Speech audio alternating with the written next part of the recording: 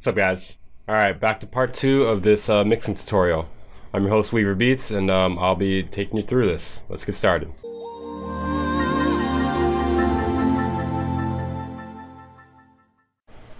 Alright, obviously you're to need some headphones for uh, monitoring setup.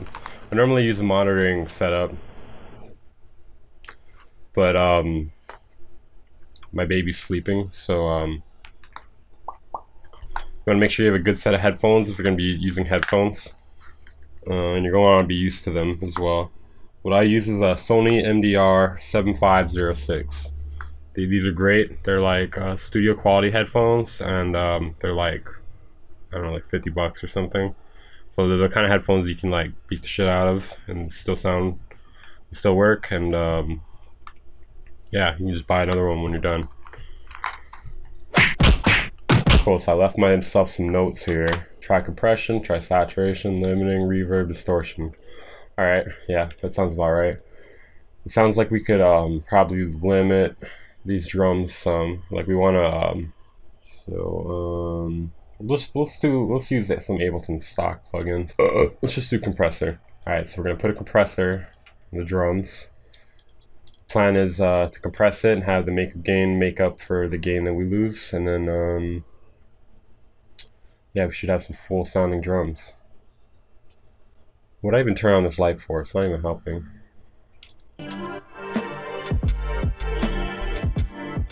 So I'm going to turn up the ratio, turn down the threshold, and try to play with attack and release.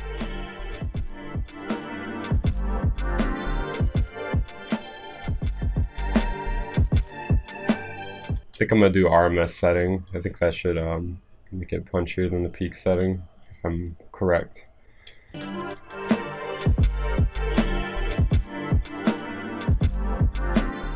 also going to play with the dry wet setting here too. That way we can, uh, it's basically parallel compression. This is a quick way to do parallel compression. So bless the Ableton gods for that.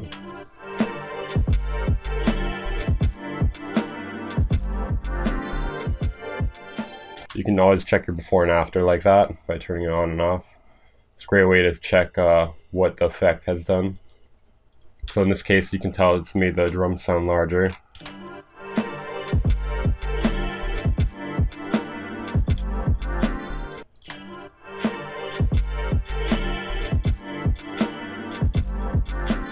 Personally, I kind of so I, wanted to do this with stock plugins only, but um, I really feel like I need to do some Trash 2 to this uh, these drums here. So I'm gonna throw some Trash 2 on there, get some nice distortion going. I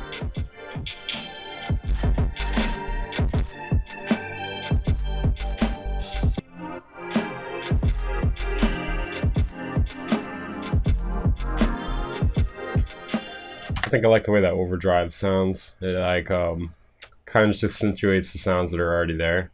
So I'm gonna do that and then uh, light mix. As you can notice, I'm still adjusting the levels a little bit it's fine to still make adjustments like of the levels and whatnot while you're going through the mix, but it, the way the way your mix should be working is you should start out by making big moves in the mix, like moving the faders a lot, and then by the time you're getting to the end of the mix, you should just be moving your faders a little bit like that, like just point two and whatnot.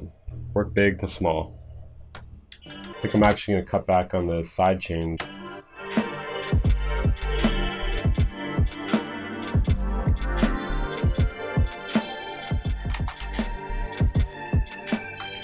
Make sure not to overdo it though, because I'm trying to make sure it still has the character that it originally had.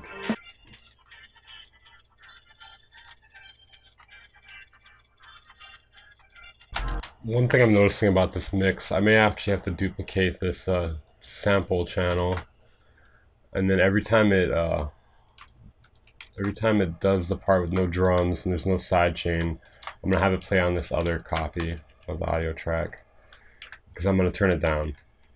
Pretty simple reason. Just uh, when the sidechain compression hits, it uh, it makes this the sample quieter overall if there's a hard sidechain like this. So um, yeah, I'm gonna play with the level on that.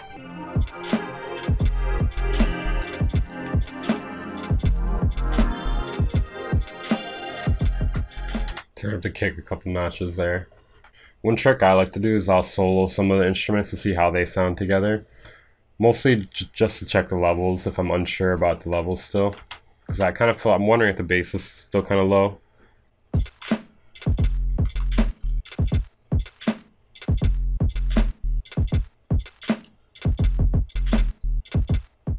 Bringing that back in made me notice I want to cut more low frequencies from the synth, so let's do that.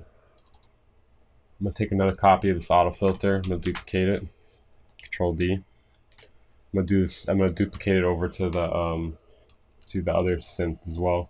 I'm going to do that by holding down Control and dragging it. That makes a copy of it. I don't know, it cuts out a lot of the meat there. Um, I think I might actually just try to bring it halfway. So like uh, 60, around 60. Sorry about that, my camera died. I think I'm gonna end part two there though. That's pretty much it for a good mix. All you gotta do is turn off that hollowed out compressor and you got, got yourself a mix down. I'm gonna do a part three though, and in part three I'm going to further analyze the mix. I'm gonna listen to it on different systems, good and bad. I'm also gonna show you some extra techniques, cool things I do to make the mix sound even better. Check it out next time, and um, I'm your host Weaver Beats. This has been a tutorial on mixing a hip hop beat.